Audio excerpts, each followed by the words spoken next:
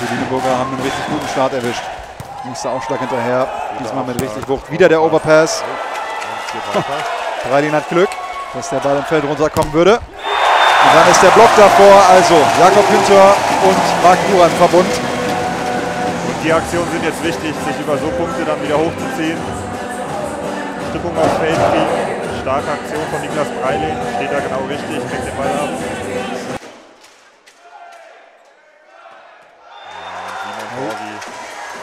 Punkt. Erwischt da einmal Nick Slide. Kleiner Boden-Hoden-Kontakt.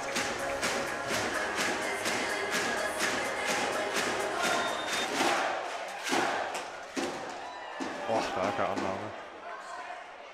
Hauke, kein perfekter Pass.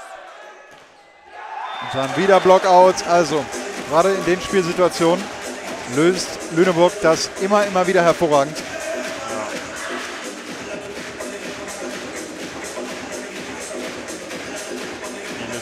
Schwere Situationen. Der Versuch über Kopf Pipe zu spielen. So, aber der zweite ist es dann. Kein großes Problem.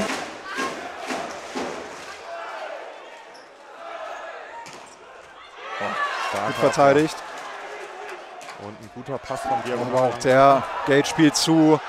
Und der ist klasse gemacht. Also sowohl die Defense von Michael Wright als auch Gage Wesley, wie er den dann noch im Flug in Richtung 2 zuspielt. Ich glaube, da können wir vielleicht sogar mal auf den Highlight-Button drücken, oder? Die jetzt schon nicht gezogen. Ich hätte es gern gesehen. Da war ich mir nicht so sicher. Wow.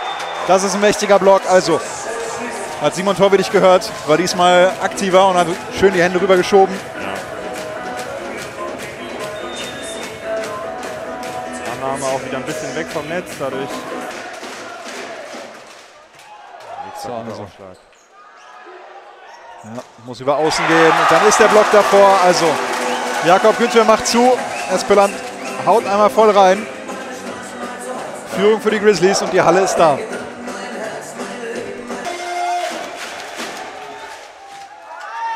probiert's. Starker Aufschlag. Slide, wirft den rein. Unkonventionell. Grinst sich einen ab, aber auch das gibt einen Punkt. Also wohl der erste Touch, den man nicht unbedingt nehmen muss, weil der Ball langsam genug ist, um verteidigt werden zu können. Also schöner Pipe. Da auch wieder nächstes Break obendrauf. Wieder den Abstand verkürzen können. Boah. Breilin ist da, verteidigt ihn gut. Trotzdem keine Chance wirklich anzugreifen. Nächster Mitte, wieder ist die Defense da. Ja, also. Und auch der, es wird nur noch Mitte gespielt jetzt. Versuch Nummer 4, nein. Und dann ist nämlich der Block davor. Also, Jory Mentha und Noah Max Pöhler dürfen zusammen.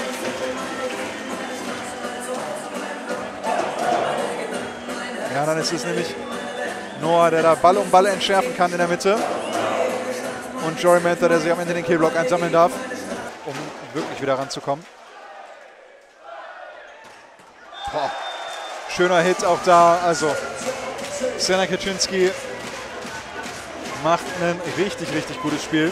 Ja. Man sieht auch wieder, Annahme war gut, schneller Pass über Kopf und dann Boah, wollen beide hin.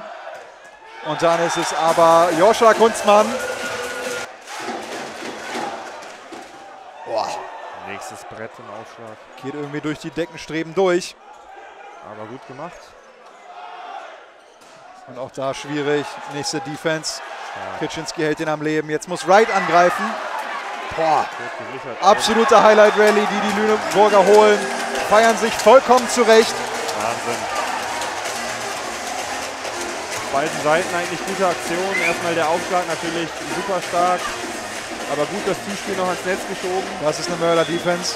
Und dann ist es eine halbe Eigensicherung davon Wright, nachdem er den Ball in den Block schlägt. Also, aber zumindest seit geraumer Zeit, seit dem ersten Spieltag nämlich. Also, Block ist da. Ja. Erzeugt zumindest mal ein bisschen Trouble bei Gage. Espeland haut oben auf die Hände.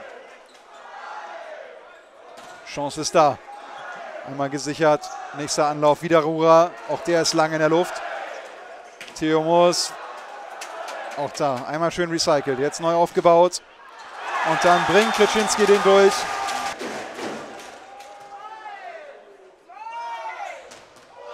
Und dann ist es ein Monsterblock im 1 gegen 1 Duell. Holt Espeland sich den Punkt. Darf sich nochmal feiern lassen. Was ein Abschluss hier auch. Ja, also 25 zu 18 geht an Satz 4 aus. Lüneburg holt drei Punkte hier in Hildesheim.